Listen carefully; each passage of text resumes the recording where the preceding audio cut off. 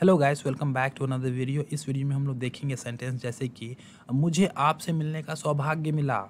उसे वहाँ जाने का सौभाग्य मिला। मुझे आपके साथ गाना गाने का सौभाग्य मिला। या फिर मुझे मेरे प्रिय हीरो के साथ मिलने का सौभाग्य मिला? ऐसे सेंटेंस को हम इंग्लिश में कैसे ट्रांसलेट करें, उसको हम लोग आज देखने वाले हैं। तो यहाँ पे देखिए, सौभाग्य मिला के प्लेस पे आप क्या यूज़ करेंगे?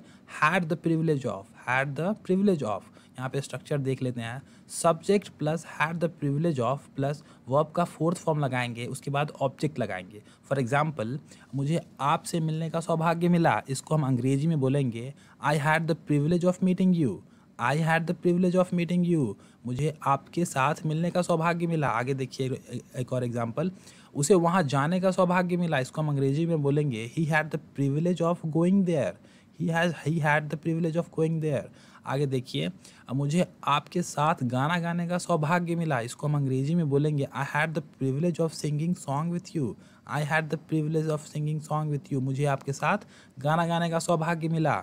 आगे देखिए मुझे मेरे प्रिय हीरो से मिलने का सौभाग्य मिला। इसको हम बोलेंगे अंग्रेज़ी में I had the privilege of meeting my favourite hero I had the privilege of meeting my favourite hero अगला देखिए, मुझे आपके साथ काम करने का सौभाग्य मिला। इसको आपको ट्रांसलेट करना है और कमेंट सेक्शन में लिखना है। And this brings us to the end of video thank you for watching